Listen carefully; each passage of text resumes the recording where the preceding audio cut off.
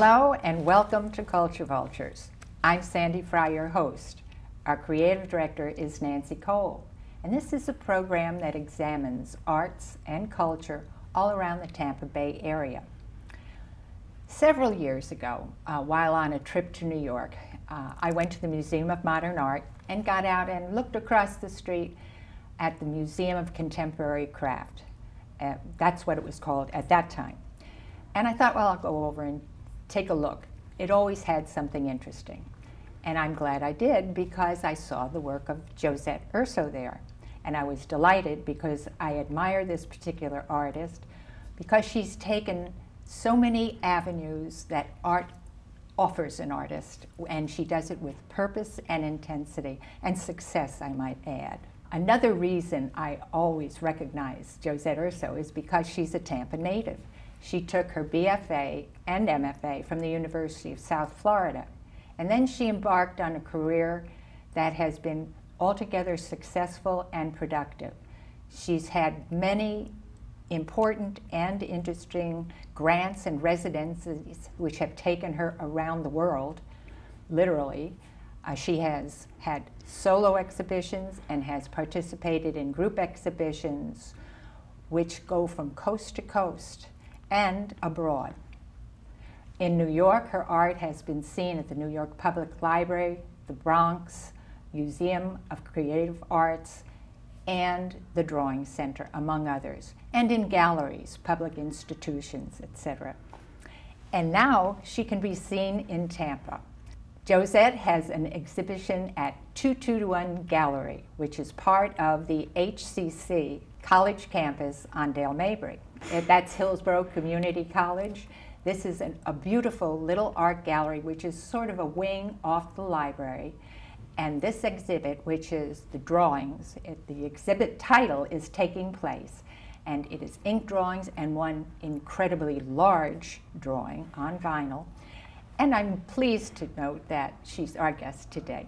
Thank Welcome, you so much. Josette. Thank you. It's such a pleasure to be here. Well, I was I was bowled over because you uh, you used ink as a medium for the place you call home now, which is New York City. And I, I used to live in New York City. I lived in New Jersey too, but you you got the density of that sense of density of, of this city um, with a medium that seems so intimate uh, the, just the ink drawing. And it's so successful because after you see that, you begin to see the small details. But I want to start with the huge site specific vinyl work you have. It's seven and a half feet tall, it's 20 feet wide. And how did you do it? Well, when I when I first saw the space, Kathy Gibson, who's the curator at um, Gallery 221, invited me to, to, to, the college to take a look at the gallery to see if I might have an idea about a Right. project. And I saw this giant wall, and I thought, first of all, immediately I felt I would like to show drawings here. Something about the space just felt like the perfect the perfect um, site for a drawing exhibition. Right. And drawings are, are, are, are uh, uh, uh, an important part of my practice, but, uh, but they don't always get seen. But the drawings really help the paintings. They keep me very fresh and of the moment. But anyway, I saw this giant wall and I thought, I'd love to do a giant, giant drawing. How might that happen? And I thought about pro- possibilities of materials and vinyl is something about vinyl the idea of translating a drawing from the intimacy of the small scale ink onto the wall with vinyl seemed perfect so what i did was i took one of my drawings I, many times i have um, invitations to make drawings from various locations. And it's interesting you mentioned the city because the city is so many different places. If you you know if you're on the 8th floor or the 13th floor or the 38th floor, it's a very different experience. So anyway, I had a series of drawings I'd made recently from a friend's 38th Street. It was actually on 38th Street and on the 38th floor. Looking down 6th Avenue, you could see the Empire State Building from bottom to top at that view. So anyway, I took some of the drawings I made at that particular, from that site. And um, I redrew um, using a pretty fine line on a piece of mylar. Most of my drawings are a little too large for a scanner. In order to use that vinyl laser cut, you need to the, the drawing needs to fit on a scanner bed. So I redrew the drawing on, on a, a piece of mylar. We scanned it, um, vectorized it, which What is a that mean? computer process of bringing it back into a kind of translatable um, geometry. And I worked with Chris Haynes from Sign Art, um, who is a local fabricator, wonderful. It was wonderful working with her. I mean, every, it was just like we really bounced off each other in terms of I would have this idea, and she's like, sure, we could figure that out. Um, so what happened though, once the drawing was in the computer, um, it was laser cut on strips of vinyl. So the, the, the drawing is, is um, made on um, nine 27 foot wide strips by seven and a half feet. And, and so basically, once the, the, the vinyl went through the printer, um, there was a very fine line of laser cutting, and I, I peeled out, or what, what, what they call weeding, uh-huh. the negative space. Okay. So it's still on, a, it's almost a little bit like hanging wallpaper. So it's, it's the, the, the, the vinyl is still um, married to a piece of, of paper yeah. and, and then we, we one by one we, we hung it you know it was kind of interesting to watch it generate. But there's something interesting too about that. The technology of the process of laser cutting and using a material that's man-made with what happens with the drawing because drawing is really seeing and seeing is knowing and it's, it's drawing really it, it, it really is about this intimate connection to the world and, mm-hmm. and, and seeing the world through a series of, I mean, it's tactile, obviously. It's about Mark. But the thing about the drawing that's a little interesting, and, and, and I took, I wanted to take, even though there's this mechanical process involved, mm-hmm. I still, while I'm working, regardless of whether I'm making my drawings or my paintings or my collages, it's, it's, I'm most, I'm most interested in what I don't know so sure. although the drawings, because the drawing tool is very factual in a way, like I think we think differently with different tools. And my drawings do look closer to, all of my work is in, made in response to the natural world or the tangible world. But I take very direct, intuitive, improvisational approach. Um, so even though the drawings are, I think when you look at the drawings, you're, you're more keyed into what I'm looking at. I think it's maybe more apparent. I still I need to have that playful experimental attitude. So anyway, three quarter, long story to explain that three quarters of the drawing on the right is a pretty logical angular view into the city with right. the, the, the, space coming and going. Mm-hmm. And it, it's funny because it's built, there's a logic and an illogic, but it, somehow it, it, feels like a believable view, city it view. It feels very urban city. It's quite good. If you look at the, the second part, which is like the, the left um, one quarter, I'd say, um, I actually inverted another drawing. I took two drawings and I, I, I, spliced them together and I superimposed them. So there's this or, disorienting kind of up and down and like upside down, right side up. And it, I took a very playful attitude, even though I was translating this on. Of course, I had to convince you know everybody was like, "We're going to do what here?" And but I like it that it's like it's not always what you expect. Oh, you know, I'm sure. When you're looking at a piece. Did you in, did you actually ever have experience with vinyl? Have you ever seen this? This was the first time. No. So you in invented this? well, I don't know that I invented it. I think it's a material that many artists, you know, I mean, I think it, it was something I always wanted to try, mm-hmm. and I don't know exactly what incited that interest.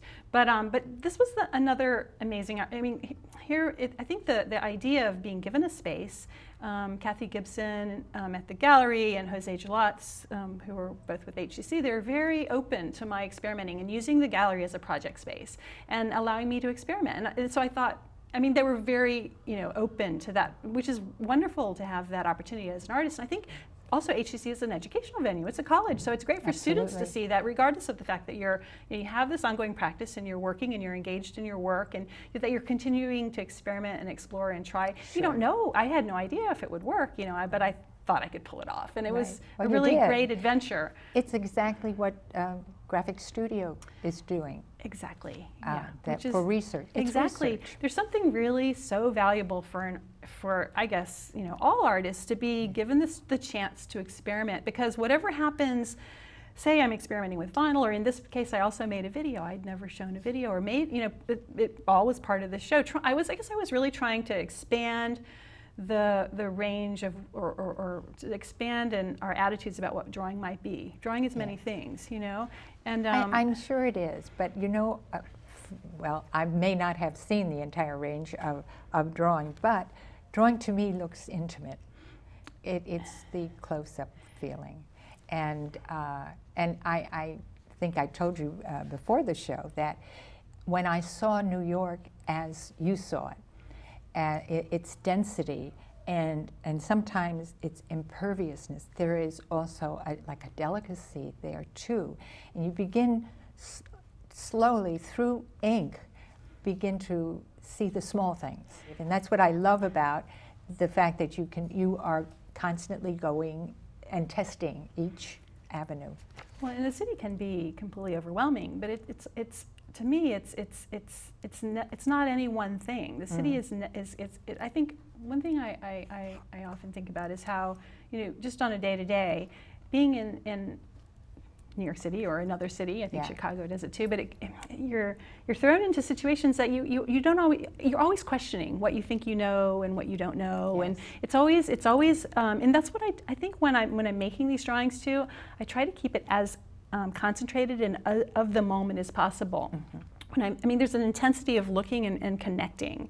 And so when I'm making these drawings, I'm trying to keep the mark as alive and of the moment too because it's also about mark making. But sometimes when you're drawing, you might get into the system of, um, of, of, of a method where you kind of know your mark, or you can, sometimes you know you got into rote mode. You're like, okay, I'm doing, I try to move on the, uh, move around on the page so that I keep it as intense and as of the moment so you don't know what you're going to get. Um, in this, in, you never know what you're going to get in the city, and, or That's right. you know, it's just you don't you don't know that not knowing, and, and I, I need as an artist, regardless of if I'm working on my drawings, um, or my paintings or my collages, I need to, to step off the path and get really lost. And, and I think that um, in a way you're wandering and traveling when you're making a drawing or a painting or a collage. You know, you're, uh, the, the way I approach it is I'm, I'm, there's a flow happening, and, Uh-huh. I, and I don't know. I don't know. You know, I, I start here and I might come out there, and I don't know where I'm gonna where where one Yeah. thing leads. To, I don't know yet, and that not knowing is really important for me. If I know, then I, I it doesn't sustain me. I need to get shaken up when I'm working, and the city does that. Shakes me up. it shakes a lot of people. but it sounds like some authors who, when they start to write, at some point in their novel or whatever, it takes over. The characters take over, and they go, and he just follows, or she just Yeah. follows, which is an interesting Yeah. thing. How many how many works are there? Because there are both larger works and smaller works. Um, in the main gallery, I'm showing, I, th- I think I'm showing 18 drawings, and then Mhm. there's a large vinyl drawing, and then uh, the video. But Mhm. right outside the gallery, I'm also showing a series of my travel watercolors. Recently, Yes. I reactivated my watercolor practice, and um, the pieces I'm showing were made in in, uh, in Cadaqués, Spain, right outside the um, Bar- uh, right outside Bas- Barcelona, and in Mhm. Italy. And they're small scale for the most part, but all of the work is made on site. For me, my early work. Um, was um, I, I worked more um, based on an internal kind of landscape. I worked based on my, my works for many for I guess the first years of my practice were based on invention. Um, but now, but but now I realize that uh, that my visual vocabulary is much richer, and and I have I, I need something to bounce off of. So I, I all of my works are based on observation. I use the natural world as a starting point, I, as a bouncing off point. Um, but I, I, I don't feel like they're really about even the drawings, which are closer to, I guess, you know, when you look at the drawings, you're closer to the city, perhaps, if the city is my subject, or to the interior. When I made some of the drawings I had made at Yaddo were drawn from the rooms of the mansion.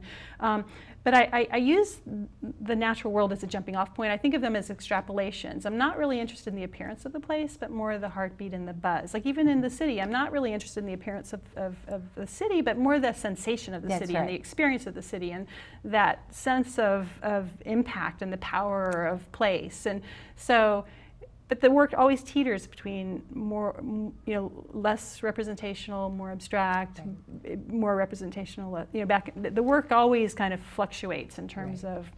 now you have two shows coming up I do in different um, venues. um, I'm in different mediums. In February of 2013, which is just around the corner. that's right. I'll be showing um, at Kathryn Markel um, Fine Arts in, in New York. I'll be showing, put together a new body of work. I'll be showing paintings, oil paintings. Mhm. And then at Dowling College um, in New York as well, I'll be showing collage.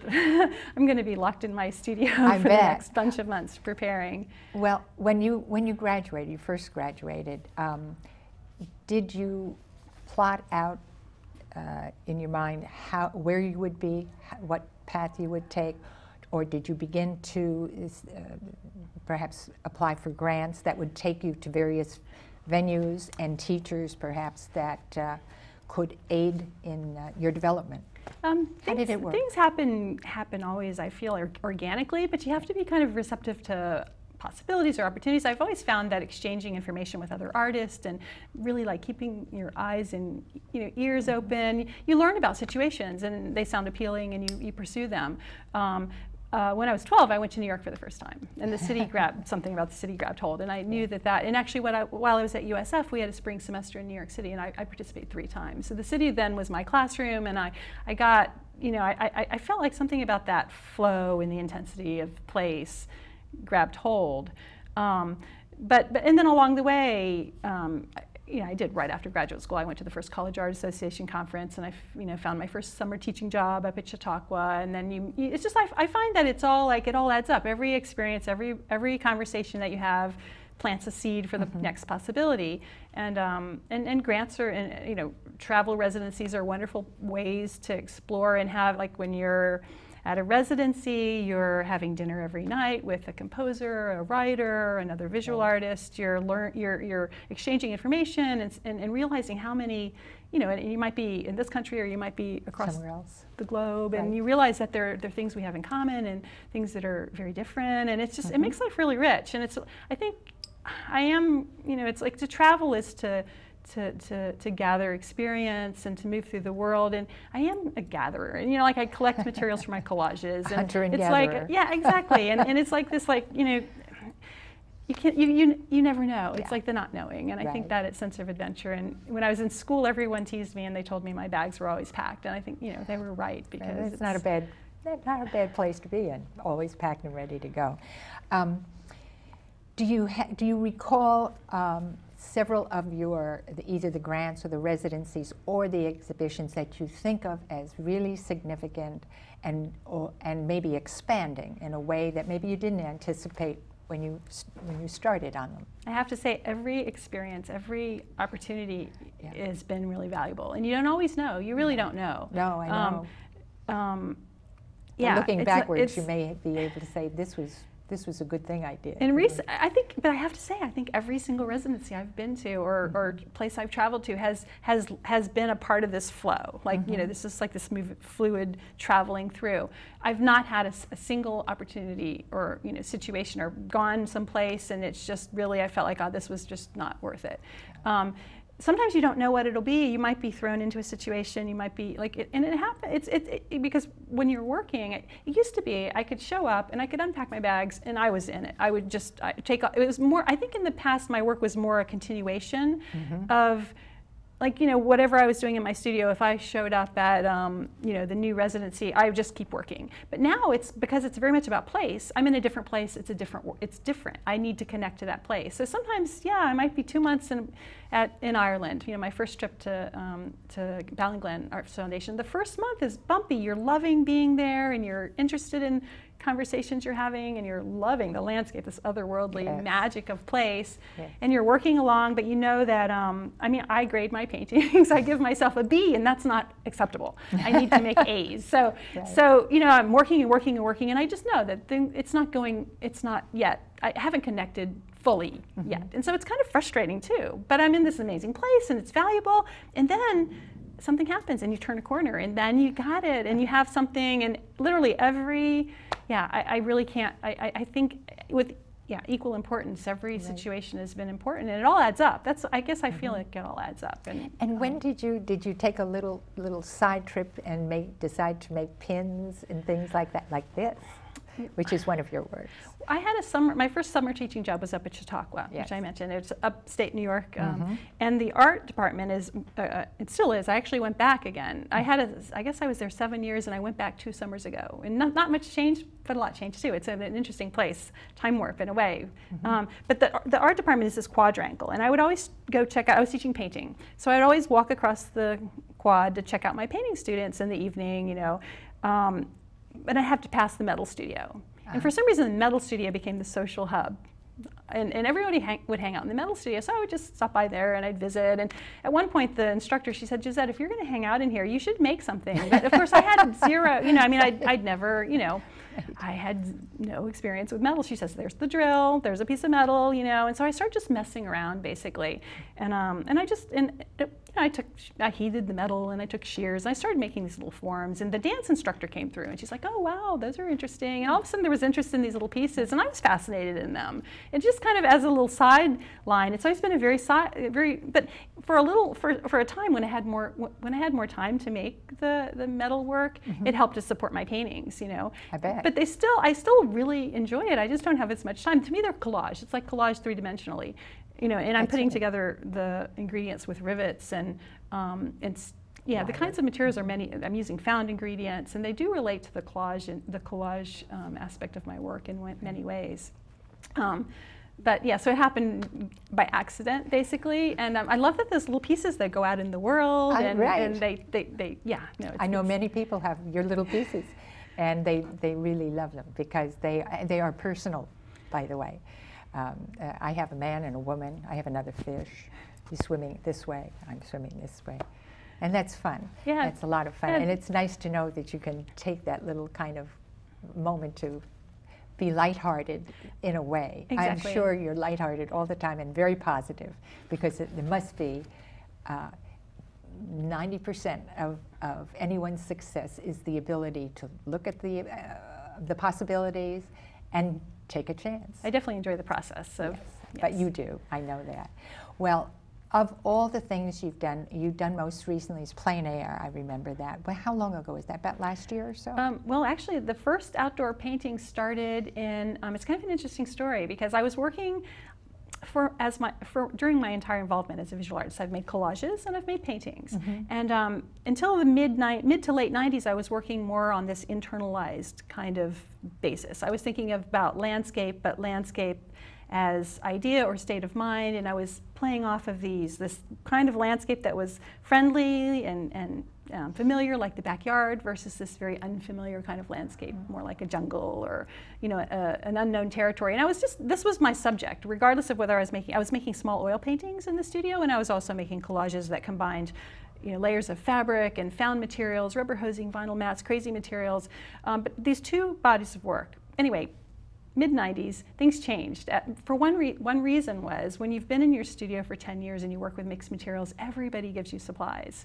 I was literally feeling overwhelmed. So, right. first thing was I made this giant studio purge and I donated to Materials for the Arts. I gave away a lot of materials, and I, but, but yet I had a paper, I had paper files, and I'd been methodically saving paper for years. I had an image pile an image bin, mm-hmm. um, postcards I'd saved. I had a pattern file. Sometimes you open a, an envelope and there's a wild, wonderful, you know, spider web inside. And I had a, um, a drawing file, drawings. Anyway, so I started working with that mm-hmm. in my mm-hmm. collage. The oil paintings were based on invention so anyway, that the collage changed, but also the oil paintings changed because I found myself in a fishing village, Cadaqués, for the first time in, in Spain. My studio overlooked a wall. So that was really the first plein air, but it happened by accident.